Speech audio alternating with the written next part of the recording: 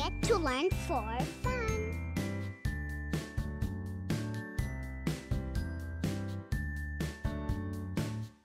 Hello, friends. Welcome to my channel. Get to learn for fun. In this video, we will talk about seasons. How many seasons do we have? You have two seconds to figure it out. Four seasons.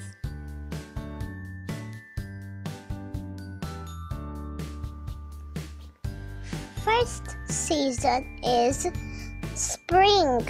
Flowers and trees blossom and the birds, birds sing.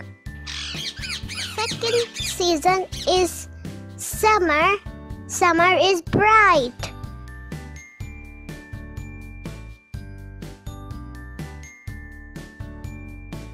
Third season is autumn. Autumn don't have any leaves. The leaves fall down and the birds are not on the trees. Some fall down, some not fall down.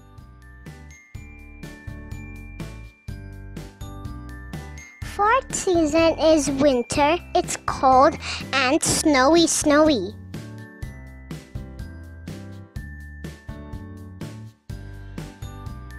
Now let's sing together, friends. Spring, summer, autumn, winter.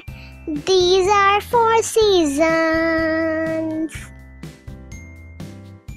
Spring, summer, autumn, winter. These are four seasons.